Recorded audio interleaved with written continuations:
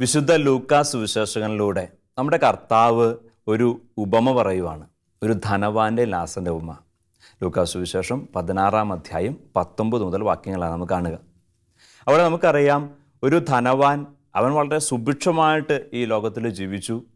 ഒരു ലാസർ എന്ന ദരിദ്രൻ അവൻ ദരിദ്രനുമായിരുന്നു രോഗിയുമായിരുന്നു. ഈ ലോകത്ത് വളരെ കഷ്ടപ്പെട്ടവൻ കടന്നുപോയി.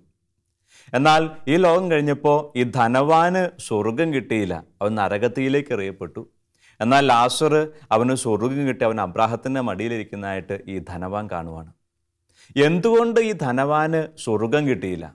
അവൻ വലിയ പാപങ്ങളൊന്നും ചെയ്യുന്നതായിട്ടോ അവനൊരു അധർമ്മിയായിട്ട് ജീവിക്കുന്നതായിട്ടോ ദുഷ്ടത്തരം പ്രവർത്തിക്കുന്നതായിട്ടോ നമ്മൾ കാണുന്നില്ല. പിന്നെ എന്തുകൊണ്ട് അവന് സ്വർഗം കിട്ടിയില്ല എന്ന ചോദ്യത്തിന് അവിടെ ഉത്തരം ദൈവവചനം നൽകുന്ന ഇതാണ്. അവൻ അവന്റെ പടിവാതിക്കൽ കിടന്നിരുന്ന ലാസറിനെ കാണേണ്ട പോലെ കണ്ടില്ല. അവന് വളരെ നിസ്സാരമായിട്ട് ലാസറിന്റെ മുറി ഒപ്പമായിരുന്നു. അവൻ അനുഗ്രഹമായിട്ട് മാറാമായിരുന്നു. ഒരു വാക്ക് അവന്റെ സേവകരോട് പറഞ്ഞാൽ മതിയായിരുന്നു. അപ്പോൾ ചെയ്യാമായിരുന്ന നന്മ ചെയ്യാതിരുന്നത് കൊണ്ടാണ് ധനവാന് സ്വർഗം നഷ്ടമായത്. പ്രിയപ്പെട്ടവരെ നോക്കേണ്ട പോലെ നോക്കുകയും കാണേണ്ട പോലെ കാണുകയും അനുഗ്രഹമാകേണ്ട പോലെ മറ്റുള്ളവർക്ക് അനുഗ്രഹമാവുകയും ചെയ്തത് വഴി സ്വർഗം നേടിയെടുത്ത ഒരു വിശുദ്ധനെക്കുറിച്ചാണ് ഇന്ന് നമ്മൾ കാണുക. ആ വിശുദ്ധന്റെ പേര് വിശുദ്ധ പീറ്റർ ക്ലാവർ എന്നാണ്.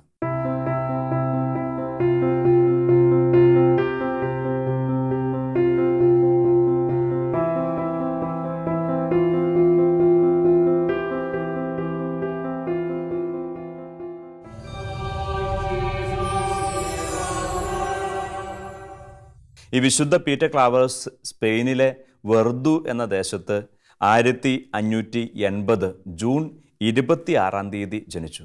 അദ്ദേഹം ഒരു കുലീനമായ കുടുംബത്തിൽ ഭക്തരായ മാതാപിതാക്കന്മാർക്ക് ജനിക്കുകയും അവരുടെ ശിക്ഷണത്തിൽ നല്ല വിദ്യാഭ്യാസത്തിലും ഒപ്പം വളരെ ഭക്തിയിലും വളർന്നു വരികയും ചെയ്തു. ഒരു ചെറിയ കുട്ടിയായിരിക്കുമ്പോൾ ഈ വിശുദ്ധ പീറ്റർ ക്ലാവറിനെ കുറിച്ച് ഇപ്രകാരമാണ് ചരിത്രം രേഖപ്പെടുത്തുക.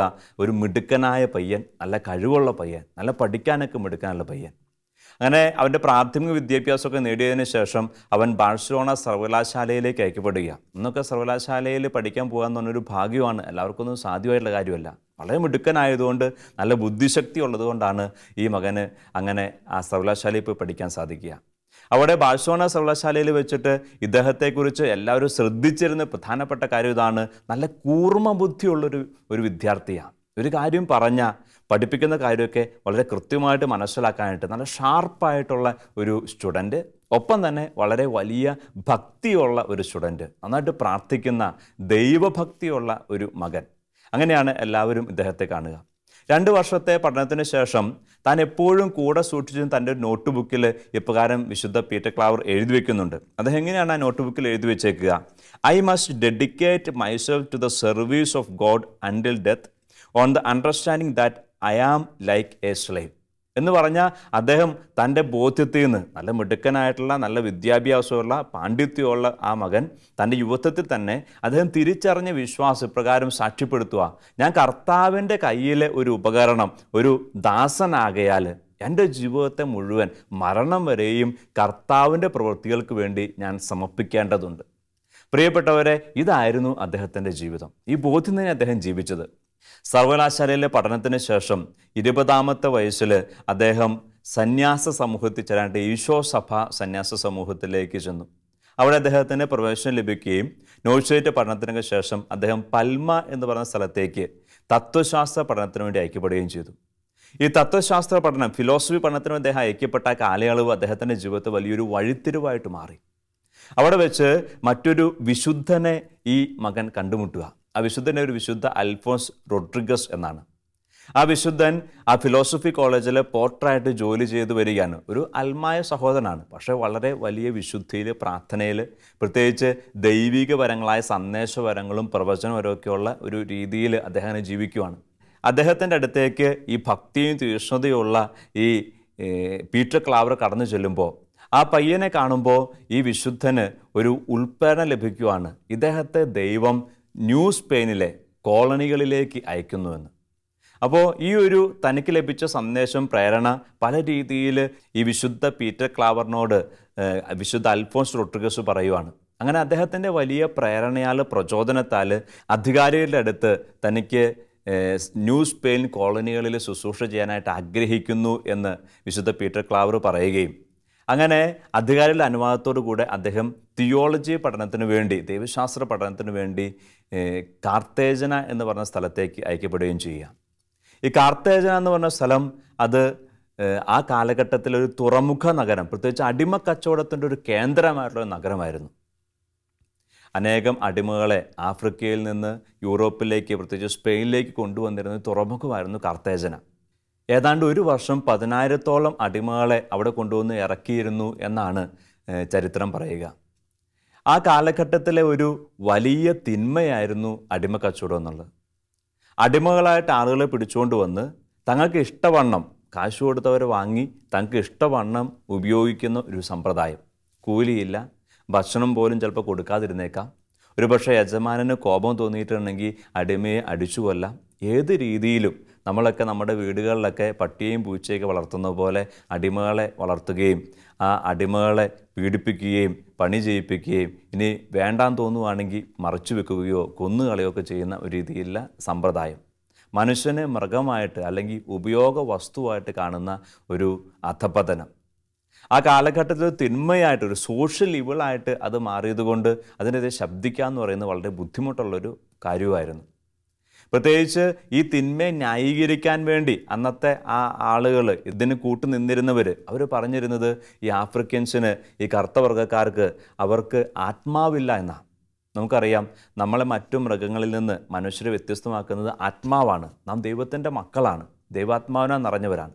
പക്ഷേ ആത്മാവില്ലാത്ത ഇവരെ മറ്റു മൃഗങ്ങളെപ്പോലെ തന്നെ കണക്കാക്കിയാൽ മതി എന്നുള്ള ഒരു നിലപാടിലായിരുന്നു ഇതിനെ പ്രൊമോട്ട് ചെയ്യുന്നവർ തീർച്ചയായിട്ടും പരിശുദ്ധ കത്തോലിക്ക സഭ ഇതിനെതിരെ അതിശക്തമായിട്ട് പ്രവർത്തിക്കുകയും ഈ സഭ നിർത്തലാക്കാൻ വേണ്ടി അതികഠിനമായിട്ട് പരിശ്രമിക്കുകയും ചെയ്തിരുന്നു. പക്ഷേ കുറേ നാളത്തേക്ക് ഈ ഒരു സമ്പ്രദായം മുന്നോട്ട് പോവുക തന്നെ ചെയ്തു.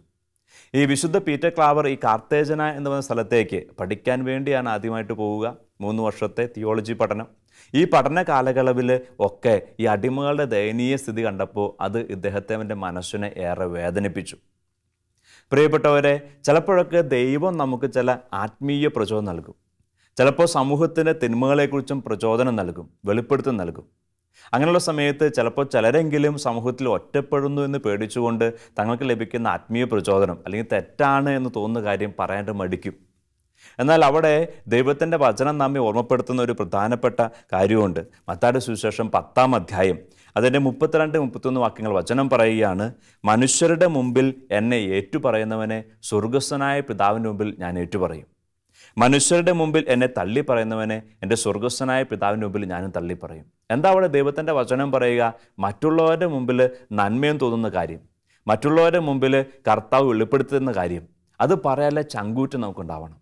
ഒരുപക്ഷെ മനുഷ്യനെ പേടിച്ച് അല്ലെങ്കിൽ മനുഷ്യനെ മനുഷ്യരും നാണം കെടുമെന്ന് ഭയപ്പെട്ടുകൊണ്ട് നമ്മളത് വേണ്ട എന്ന് വെക്കുമ്പോൾ ദൈവവും നമുക്ക് വേണ്ടി സംസാരിക്കുന്നതിൽ വിമുഖത കാണിക്കും എന്നാണ് വചനം പറയുക. അപ്പോൾ മനുഷ്യരുടെ മുമ്പിൽ കർത്താവിന് ഏറ്റു പറയുന്നതിൽ കർത്താവ് നൽകുന്ന പ്രചോദനങ്ങൾ നന്മയായിട്ടുള്ള കാര്യങ്ങൾ അത് ഏറ്റു പറയുന്നത് ധൈര്യം ഉണ്ടാകണമെന്ന് വചനം നമ്മെ പഠിപ്പിക്കുന്നു. പ്രിയപ്പെട്ടവരെ അന്ന് ലോകത്ത് ആ തിന്മ ബലപ്പെട്ടപ്പോൾ പരിശുദ്ധ കത്തോലിക്ക സഭയിൽ നിന്ന് ആ തിന്മയ്ക്കെതിരെ ധൈര്യത്തോടെ പ്രതികരിക്കാൻ ചങ്കൂറ്റുള്ള ധാരാളം വിശുദ്ധർ ഉണ്ടായിരുന്നു. അതിൽപ്പെട്ട ഒരു വിശുദ്ധരായിരുന്നു ഈ വിശുദ്ധ പീറ്റർ ക്ലാവർ. അദ്ദേഹം തന്റെ ഇടത്തോടെ ധൈര്യത്തോടെ പ്രസ്താവിച്ചു ഈ അടിമ കച്ചവടം ഒരു തിന്മയാണ്. ഈ അടിമകൾക്ക് ആത്മാവില്ല എന്ന് പറയുന്നത് ശുദ്ധ അസംബന്ധമാണ് നുണയാണ്. അങ്ങനെ പ്രതികരിക്കുകയും ഈ ഇത് ഈ സമ്പ്രദായം തിരുത്താൻ വേണ്ടി അക്ഷീണം പ്രയത്നിക്കുകയും ചെയ്ത ഒരു വിശുദ്ധനാണ് വിശുദ്ധ പീറ്റർ ക്ലാവർ.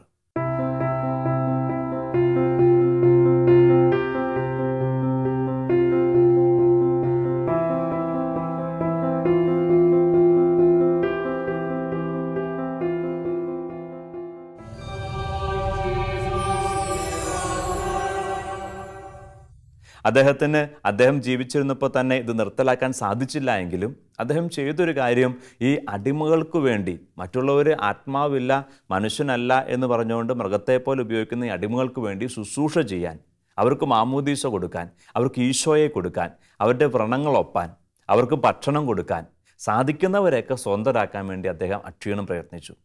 അപ്പം അതിനുവേണ്ടി അദ്ദേഹം സ്വരുക്കൂട്ടാവുന്ന സമ്പത്ത് സ്വരുക്കൂട്ടിക്കൊണ്ട് ചില അടിമകളെയൊക്കെ വിലയ്ക്ക് വാങ്ങി സ്വന്തരാക്കിയിട്ടുണ്ട്. ഇനി മാത്രമല്ല ഈ കാർത്തേജനയിലേക്ക് നീണ്ട മാസങ്ങൾ എടുക്കുന്ന കപ്പൽ യാത്ര. ഇന്നത്തെ പോലെയൊന്നും യാത്രാ സൗകര്യം അന്നില്ലല്ലോ. പായ്ക്കപ്പലൊക്കെയാണ് ഉപയോഗിക്കുക. അപ്പോൾ ഈ കപ്പലിൽ ആഫ്രിക്കയിൽ നിന്ന് ഈ സ്പെയിനിലേക്ക് വരുമ്പോൾ മാസങ്ങളെടുക്കും ഈ മാസങ്ങൾ എടുക്കുന്ന സമയത്ത് ചിലപ്പോഴൊക്കെ ഇപ്രകാരമാണ് ചരിത്രം പറയുക മൂന്നിലൊന്ന് ആളുകൾ മരിക്കും യാത്രയിൽ തന്നെ. കാരണം ഈ കപ്പലുകളിൽ അവർ പരമാവധി ആൾ കുത്തി നിറച്ചാണ് കൊണ്ടുവരിക.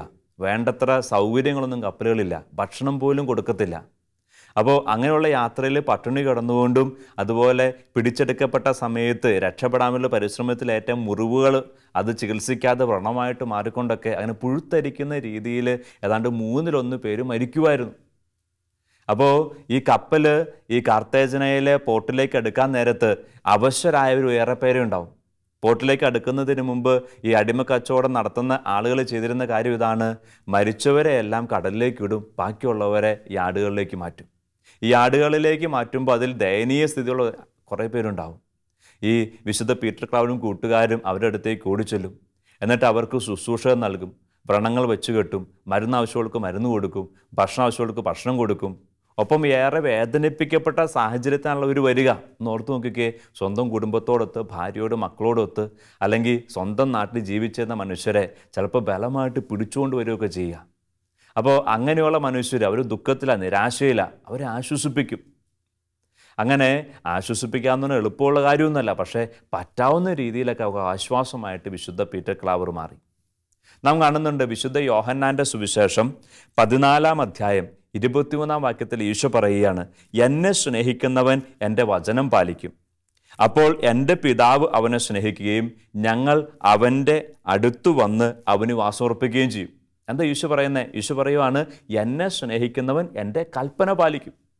അങ്ങനെ കൽപ്പന പാലിക്കുന്നവന്റെ ഉള്ളിൽ ഞാൻ വന്ന് വസിക്കും. ഞാനെന്റെ പിതാവ് വന്ന് വസിക്കും.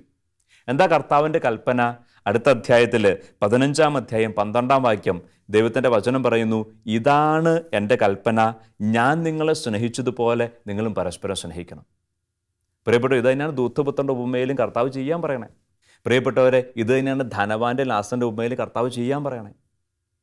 അങ്ങനെ കർത്താവ് ആവശ്യപ്പെട്ട പോലെ തന്നെപ്പോലെ തന്നെ തന്റെ സ്നേഹിതനെ സ്നേഹിക്കാൻ വേണ്ടി സഹോദരായ മനുഷ്യരെ സ്നേഹിക്കാൻ വേണ്ടി ഒരു മാറ്റിവെച്ച ജീവിതമായിരുന്നു വിശുദ്ധ പീറ്റർക്ലാവിന്റെ ജീവിതം.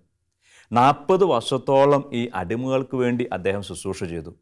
ഈ നാൽപ്പത് വർഷത്തിന്റെ ഇടയിൽ അദ്ദേഹം മൂന്ന് ലക്ഷത്തോളം ആളുകൾക്ക് മാമൂദീസ കൊടുത്തു എന്നാണ് ചരിത്രം സാക്ഷ്യപ്പെടുത്തുക. മൂന്ന് ലക്ഷത്തോളം ആളുകൾക്ക് മാമൂദീസ കൊടുത്തു. അവർ അവരുടെ അടുത്തേക്ക് ഈ വിശ്വാസവുമായിട്ട് യേശു സന്ദേശവുമായിട്ട് കടന്നു ചെന്നപ്പോൾ വിശ്വസിച്ചവർക്കാണല്ലോ മാമൂദീസ കൊടുക്കുക. അതിലും എത്രയോ പേർക്ക് ആശ്വാസമായിട്ട് അദ്ദേഹം മാറിയിരിക്കും. ഒന്ന് ആലോചിച്ച് നോക്കിക്കേ അദ്ദേഹം മരിച്ച് സ്വർഗത്തിലേക്ക് ചെല്ലുമ്പോൾ അദ്ദേഹത്തെ സ്വീകരിക്കാനായിട്ട് ഇത്രത്തോളം ആളുകൾ സ്വർഗത്തിൽ കാത്തുനിൽപ്പുണ്ടാവും കാരണം അത്രത്തോളം പേരെ യേശുവിന് വേണ്ടി നേടിയെടുക്കാണ്ട് സാധിച്ച ഒരു മനുഷ്യനാണ്. നാൽപ്പത് വർഷം അദ്ദേഹം ഈ അടിമകൾക്ക് വേണ്ടി ജീവിച്ചു. അങ്ങനെ നാൽപ്പത് വർഷം ഏറെ കഠിനാധ്വാനം ചെയ്ത് അടിമകൾക്ക് വേണ്ടി ജീവിച്ചു. അടിമകൾക്ക് വേണ്ടി ജീവിക്കാമെന്ന് പറഞ്ഞാൽ ശാരീരികമായിട്ടുള്ള ഈ അധ്വാനം മാത്രമല്ല മറിച്ച് ഏറെ തിക്താനുഭവങ്ങൾ കൂടെ ഉന്നത കുല സമൂഹത്തിൽ നിന്ന് അദ്ദേഹത്തിന് അനുഭവിക്കേണ്ടി വന്നു. കാരണം ധനാഢ്യരായിട്ടുള്ള വ്യക്തികൾ ഈ അടിമ കച്ചവടത്തിൽ ഉറച്ചു നിൽക്കുന്നവർ അത് നല്ലതാണെന്ന് പറയുന്നവർ അവരുടെ എതിർപ്പ് കൂടി ഇദ്ദേഹത്തിന് സഹിക്കേണ്ടി വന്നു. കാരണം അവർ ഈ മനുഷ്യർക്ക് ആത്മാവില്ല. ഇത് മനുഷ്യരല്ല. ഇത് മൃഗമാണെന്ന് സ്ഥാപിക്കാൻ വേണ്ടി പരിശ്രമിക്കുമ്പോൾ ഇതാ ഒരു പുരോഹിതൻ ഒരു വിശുദ്ധനായിട്ടുള്ള പുരോഹിതൻ. അദ്ദേഹം ഇവർക്ക് ആത്മാവുണ്ട്. ഇത് സഹോദര ഇത് മനുഷ്യരാ. ഇവരെ പീഡിപ്പിക്കുന്നത് ശരിയല്ല എന്ന് പറയുക. തീർച്ചയായിട്ടും അവർക്ക് ശത്രു തോന്നും ദേഷ്യം തോന്നും. അവർ ഈ മനുഷ്യനെ പീഡിപ്പിക്കാൻ വേണ്ടി പരിശ്രമിച്ചു ഒറ്റപ്പെടുത്താൻ വേണ്ടി പരിശ്രമിച്ചു. പക്ഷെ അവിടെയൊക്കെ ധീരതയോടെ നിന്നുകൊണ്ട് അദ്ദേഹം തന്റെ ശുശ്രൂഷ ചെയ്യുക. അങ്ങനെ നാൽപ്പത് വർഷക്കാലം കഠിനാധ്വാനം ചെയ്ത് ഈ മനുഷ്യന്റെ മരണത്തോടെടുക്കുമ്പോൾ നാം കാണുന്ന കാര്യം നാല് വർഷത്തോളം അദ്ദേഹം രോഗിയായിട്ട് കിടന്നു എന്നുള്ളതാണ്. പ്രിയപ്പെട്ടവരെ ചിലപ്പോഴൊക്കെ നമ്മളിങ്ങനെ ചിന്തിക്കാറുണ്ട്. നമ്മൾ ഏറെ നന്മ ചെയ്ത് ജീവിച്ചിട്ട് ഏറെ നല്ല കാര്യങ്ങളൊക്കെ ചെയ്തിട്ട് വലിയ പാപത്തിനൊന്നും പോകാതിരുന്നിട്ട് വലിയ അധർമ്മമൊന്നും ചെയ്യാതിരുന്നിട്ട് നമ്മുടെ ജീവിതത്തിലേക്ക് ചിലപ്പോൾ ചെറു സഹനങ്ങൾ കടന്നു വരുമ്പോൾ നമ്മൾ ചിലപ്പോൾ കർത്താവിനെ ചോദ്യം ചെയ്യും. എന്ത് കർത്താവ് ഇത്രയും നന്മ ചെയ്തിട്ട് എനിക്ക് ഈ പ്രശ്നം എന്ത് കർത്താവ് ഇത്രയും നന്മ ചെയ്തിട്ട് എനിക്ക് എന്തേ നീ നന്മ തരാണ്ട് ഈ ദുഃഖം അനുവദിച്ചേ? ഒന്ന് ആലോചിച്ച് നോക്കിക്കേ നാൽപ്പത് വർഷക്കാലം ഈശോയ്ക്ക് വേണ്ടി ഓടി നടന്ന മനുഷ്യൻ. ഈ നാൽപ്പത് വർഷത്തിനിടയിൽ ലക്ഷങ്ങൾക്ക് അനുഗ്രഹമായിട്ട് മാറിയ മനുഷ്യൻ. ഈ മനുഷ്യന്റെ അവസാനത്തെ നാല് വർഷക്കാലം അദ്ദേഹം കട്ടിലിൽ കിടന്ന കിടപ്പിലായിരുന്നു. രോഗത്തിന്റെ വേദന അനുഭവിച്ച് അദ്ദേഹം കിടക്കുമായിരുന്നു അവിടെ നാം കാണേണ്ട കാര്യം ഇദ്ദേഹത്തിന് യാതൊരു നിരാശയും ഉണ്ടായിരുന്നില്ല. കാരണം കർത്താവിന്റെ പീഡാസഹനത്തിൽ ഞാനും പങ്കുകാരാകേണ്ടവനാണ് എന്നുള്ളൊരു ബോധ്യം അദ്ദേഹത്തിനുണ്ടായിരുന്നു. കർത്താവ് അറിയാണ്ട് എന്നെ സ്നേഹിക്കുന്ന ദൈവം അറിയാണ്ട് എന്റെ ജീവിതത്തിലേക്ക് ഒരു സഹനവും കടന്നു വരില്ല എന്നുള്ള ബോധ്യം അദ്ദേഹത്തിനുണ്ടായിരുന്നു.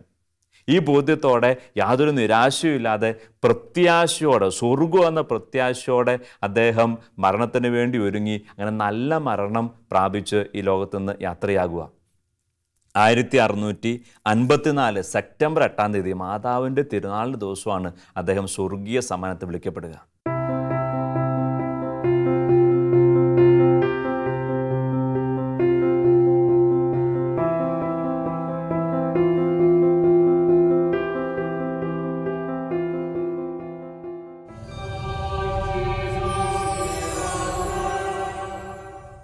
പ്രിയപ്പെട്ടവരെ ഈ വിശുദ്ധ പീറ്റർ ക്ലാവർ എന്ന വിശുദ്ധനെ നമ്മുടെ മുമ്പിൽ വെച്ചുകൊണ്ട് ഇതാ ദൈവത്തിന്റെ വചനം ദൈവത്തിന്റെ ആത്മാവ് എന്താ നമുക്ക് നൽകുന്ന മാതൃക?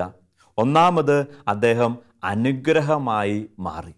അനുഗ്രഹമായി മാറാൻ വേണ്ടി അദ്ദേഹത്തിന് ദൈവം ഒരു വിളി നൽകിയപ്പോൾ സന്തോഷത്തോടെ അത് സ്വീകരിക്കുകയും അങ്ങനെ അനേകർക്ക് അനുഗ്രഹമായിട്ട് അദ്ദേഹം മാറുകയും ചെയ്തു. അദ്ദേഹം ഒരു സമ്പന്ന കുടുംബത്തിൽ ജനിച്ച വ്യക്തിയായിരുന്നു. നല്ല വിദ്യാഭ്യാസമുള്ള വ്യക്തിയായിരുന്നു. സർവകലാശാലയിൽ പോയി ആ കാലഘട്ടത്തിൽ പഠിച്ച് ഉന്നത ബിരുദമുള്ള വ്യക്തിയായിരുന്നു. വേണമെങ്കിൽ ഭൗതികമായിട്ട് ഏറെ സന്തോഷത്തോടെ വേണമെങ്കിൽ ഒരു മുതലാളിയായിട്ട് ഒരു പ്രഭുകുമാരനായിട്ട് ജീവിക്കാൻ എല്ലാ സാധ്യതയുണ്ടായിരുന്നു അദ്ദേഹത്തിന്. പക്ഷേ അദ്ദേഹത്തിന്റെ വിളി ഈ പാവപ്പെട്ടവർക്ക് വേണ്ടിയാണ് ഈ അടിമകളുടെ ശുശ്രൂഷ ചെയ്യാൻ വേണ്ടിയാ ഈ ചീഞ്ഞു നാർന്നവന്റെ ഇടയിൽ ശുശ്രൂഷ ചെയ്യാൻ വേണ്ടിയാണ് ദൈവം എന്നെ വിളിച്ചിരിക്കുന്നത് മനസ്സിലായപ്പോൾ ആ ഒരു വിളി സധൈര്യം ഏറ്റെടുത്തുകൊണ്ട് അത് നിറവേറ്റിയ വിശുദ്ധനാണ് ഈ വിശുദ്ധ പീറ്റർ ക്ലാവർ. അപ്പോൾ തന്റെ പ്രവൃത്തി കൊണ്ട് തന്റെ സാന്നിധ്യം കൊണ്ട് തന്റെ ജീവിതം കൊണ്ട് അനേകർക്ക് അനുഗ്രഹമാകാനുള്ള വിളി അദ്ദേഹം പൂർത്തിയാക്കി. ഒന്നാമത്തെ മാതൃക നമ്മുടെ മുമ്പിലും ദൈവം ഈ വിശുദ്ധനോട് വയ്ക്കുവാണ് നമ്മുടെ ജീവിതം കുറേ പേർക്ക് അനുഗ്രഹമായിട്ട് മാറാനുള്ളതാണ് നമ്മുടെ ജീവിതം കുറേ പേരുടെ കണ്ണുനീരൊപ്പാനുള്ളതാണ് അതിന് കുറച്ച് ത്യാഗമുണ്ട് കുറച്ച് ബുദ്ധിമുട്ടുണ്ട്. ഒരു പക്ഷേ നമുക്കൊരു ബാധ്യത ഇല്ലാതിരിക്കെ തന്നെ കുറച്ച് സഹനവും ഭാരവും നമ്മുടെ തലയിലേറ്റലാണ്. പക്ഷെ കർത്താവിന് പ്രതി അനുഗ്രഹമായിട്ട് മാറാൻ നമുക്ക് പറ്റുമോ അങ്ങനെയെങ്കിൽ അതിന് സ്വർഗത്തിൽ വലിയ വിലയുണ്ട്. ഇതാണ് ഒന്നാമത് ഈ വിശുദ്ധന്റെ ജീവൻ നമുക്ക് നൽകുന്ന മാതൃക. രണ്ടാമതായിട്ട് ഇത്രയും വലിയ നന്മകളൊക്കെ ചെയ്ത് ഈശോയ്ക്ക് വേണ്ടി ഏറെ അധ്വാനിച്ച് കടന്നുപോയ ജീവിതത്തിന്റെ അവസാനത്തിൽ നാല് വർഷത്തോളം വേദന കടന്നു വന്നു സഹനം കടന്നു വന്നു. പ്രിയപ്പെട്ടവരെ അവിടെയും ധൈര്യത്തോടെയും പ്രത്യാശയോടെയും അദ്ദേഹം മുന്നോട്ട് പോയി. നമ്മുടെ ജീവിതത്തിൽ ചിലപ്പോൾ നിസ്സാര സങ്കടങ്ങൾ സഹനങ്ങൾ കടന്നു വരുമ്പോൾ നമ്മൾ പിറുപിറുക്കുന്നവരാ. നമ്മൾ പലപ്പോഴും ഈ ലോകത്തിൽ ചെയ്യുന്ന നന്മകൾക്ക് ഈ ലോകത്ത് വെച്ച് തന്നെ പ്രതിഫലം വേണമെന്ന് പിടിവാശി പിടിക്കുന്നവരാ. അവിടെയാണ് വിശുദ്ധ പീറ്റർ ക്ലാവർ നമുക്ക് മാതൃകയായിട്ട് നിൽക്കുക. അദ്ദേഹം ഈ ലോകത്തിൽ ഏറെ പേർക്ക് അനുഗ്രഹമായിട്ട് മാറി. നാൽപ്പത് വർഷക്കാലം കർത്താവിന് വേണ്ടി കഠിനാധ്വാനം ചെയ്തു. പക്ഷേ അതിനുശേഷം നാല് വർഷം സഹനത്തോടെ കടന്നുപോയപ്പോൾ പിറുപിറുത്തില്ല. മറിച്ച് അദ്ദേഹത്തിന് അറിയായിരുന്നു ഈ നാൽപ്പത് വർഷക്കാലത്തെ കഠിനാധ്വാനത്തിന്റെ പ്രതിഫലം ഈ ലോകത്തിലല്ല മറിച്ച് പരലോകത്തിൽ തനിക്ക് ലഭിക്കുമെന്ന്. ആ ഒരു പ്രത്യാശയോടെ അദ്ദേഹം മരണത്തിന് വേണ്ടി ഒരുങ്ങി. പ്രിയപ്പെട്ടവരെ രണ്ടാമത് പീറ്റർ മാതൃയായിട്ട് നിൽക്കുക നമ്മുടെ ജീവിത സഹനങ്ങളുടെ വേളയിലാണ്. സഹനങ്ങളിൽ സന്തോഷത്തോടെ ഈശോയെ മഹത്വപ്പെടുത്താനുള്ള ഒരു വിളി ഒരു മാതൃക വിശുദ്ധ പീറ്റർ ക്ലാവർ നമുക്ക് നൽകുക. ഈ രണ്ട് മാതൃകകളും അനുകരിച്ചുകൊണ്ട് നമുക്ക് ഈ വിശുദ്ധന്റെ വഴിയിലൂടെ മുന്നേറാം. ദൈവം നമ്മെ ഒരു അനുഗ്രഹമാക്കി മാറ്റട്ടെ. അനേകർക്ക് അനുഗ്രഹമായിട്ട് മാറാനുള്ള വിളി നമുക്ക് ഓരോരുത്തർക്കും ഉണ്ട് ഈശോ അനുഗ്രഹിക്കട്ടെ.